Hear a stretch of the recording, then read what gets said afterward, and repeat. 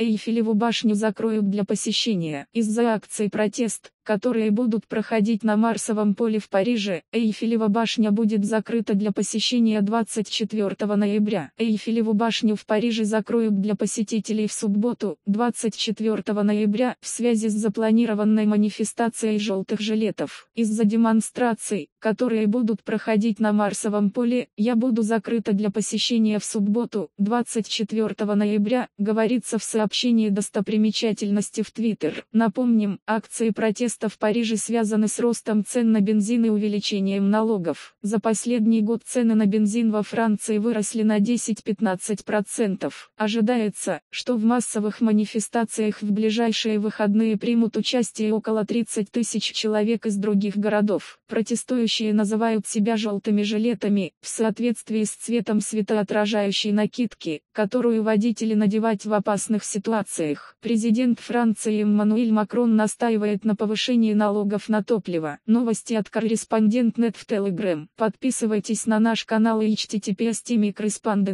По материалам сайта Newsgro.com.